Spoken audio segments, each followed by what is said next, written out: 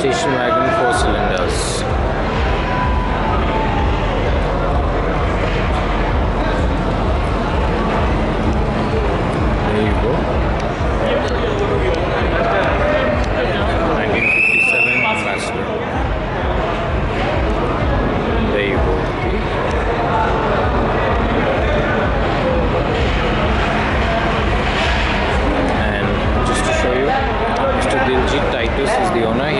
a lot of these heritage vehicles.